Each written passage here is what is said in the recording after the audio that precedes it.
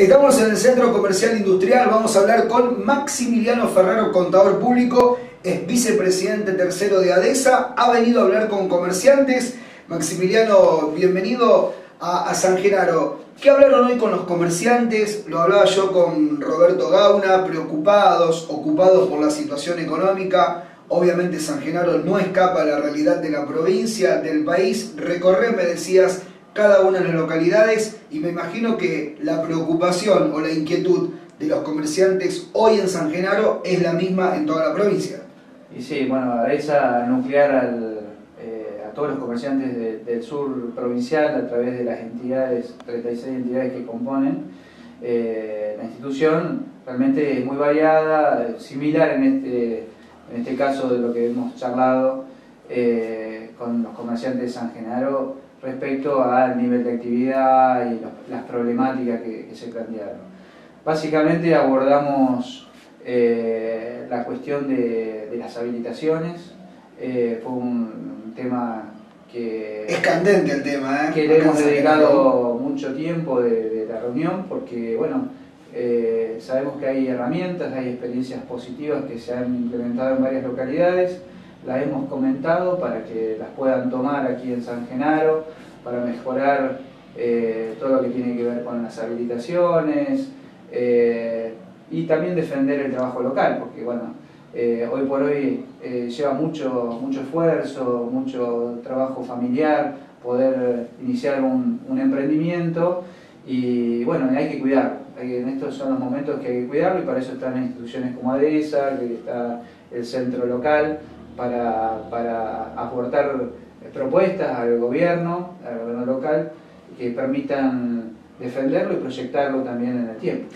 No se puede prohibir, pero capitales bolivianos, peruanos, chinos, aquí están. Se habla de capitales chilenos, pero yo me imagino cuando vos recorres cada localidad la inquietud de las personas y qué se puede hacer, porque prohibir es imposible, pero qué se puede hacer cuando vienen otros capitales y a veces la competencia o las reglas son muy distintas y hasta desleales. Bueno, lo primero que hay que tratar de hacer es que las regulaciones que ya estaban se respeten.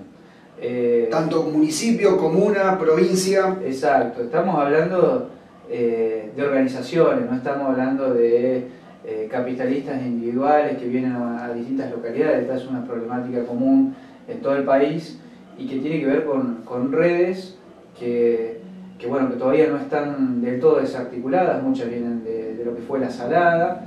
Eh, bueno, el, tema de supermercados, estamos hablando de una red de más de 10.000 supermercados en todo el país, y bueno, genera, genera bastantes inconvenientes eh, y, ya están habiendo una serie de, indicadores que permiten a las, a las localidades eh, regular, controlar, eh, esta proliferación que termina afectando a las ciudades.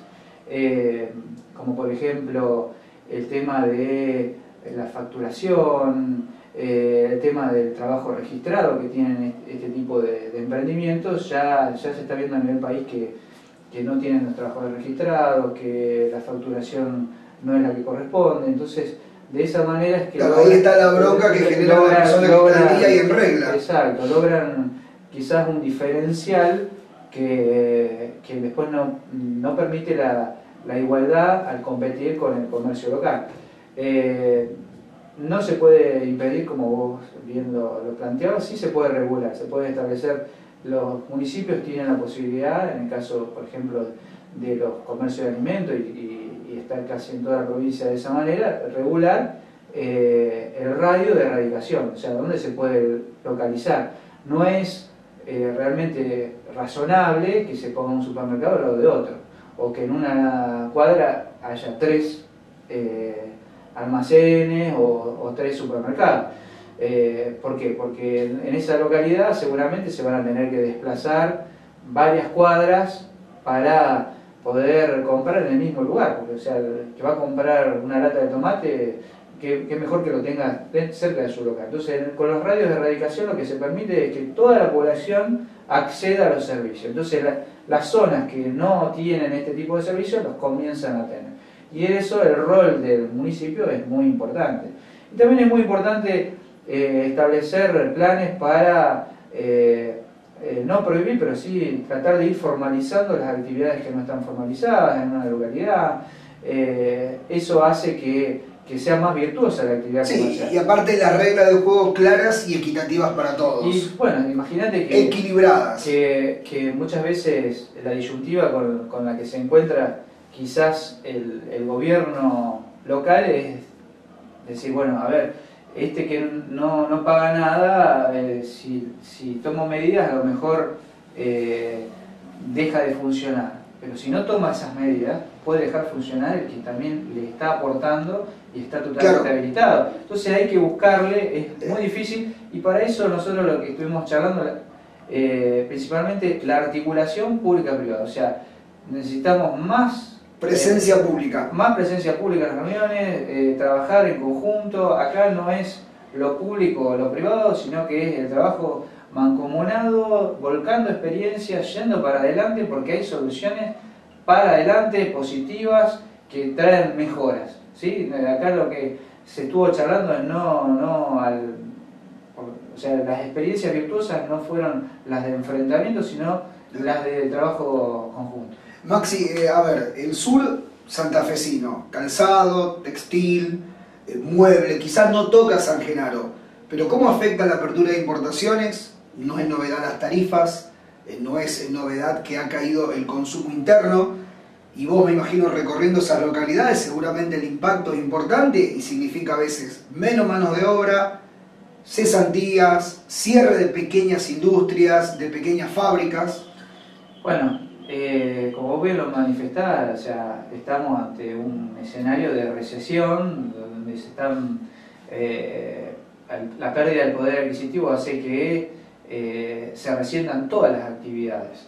Lo que sí vemos, por lo menos desde, el observatorio que tenemos de ADESA, que el, comercio chiquito, el comercio familiar, la empresa pyme, familiar, está haciendo un esfuerzo sobrehumano para retener al personal, no es la que despide. O sea, no estamos viendo ahí realmente las bajas, ¿sí? las bajas de personal. Pero no sabemos hasta cuándo van a poder resistir esto acá, porque no solo que tienen que pagar los salarios, sino que tienen que tienen una carga patronal o de derechos sociales impresionante que hace que que esto no se pueda sostener, no tienen cómo financiarse, porque las tasas que le están cobrando con esto de que ha pasado con el dólar y las tasas, las LEVAC, ha hecho que no tengan acceso directamente al financiamiento, o si, si acceden al financiamiento es un, eh, un de plomo, eh, realmente lo vemos complicado el escenario. Eh, realmente creemos que va a haber alguna pérdida importante de, fuente de trabajo si esto sigue eh, su curso.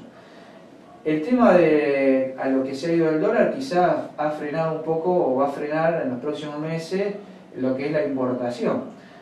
El desafío es cómo se reactiva el consumo interno sin que eso se traslade, o sea, la reactivación del consumo y los nuevos acuerdos salariales no se trasladen a precios, porque si se vuelve a trasladar y la inflación hace que estemos todavía en el mismo lugar donde estamos parados.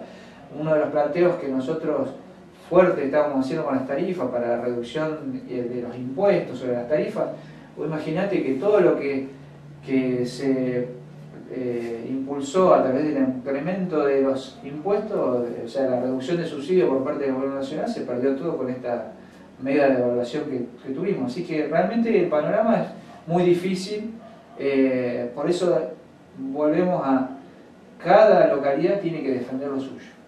Cada localidad tiene que defender lo suyo. Eh, nadie se opone a que vengan nuevos, nuevas actividades, sí, que esas actividades compitan como compiten el resto, que traigan el bienestar que, tiene, que trae ya el comercio local, el comercio local que que es el que ayuda a la escuela, el que ayuda a los bomberos, el que ayuda a la policía, el que compra la rifa del club, que es el que realmente aporta a la localidad.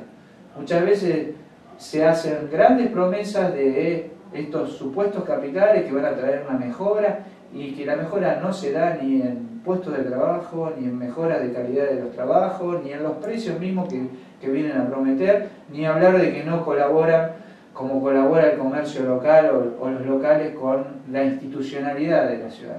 Así que eso es, eso es para tenerlo en cuenta y bueno, realmente celebro la convocatoria que, que ha tenido el centro económico.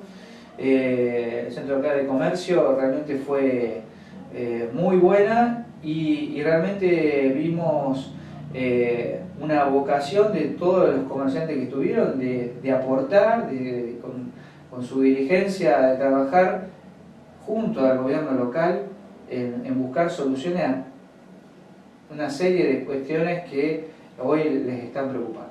Maxi, gracias. Gracias.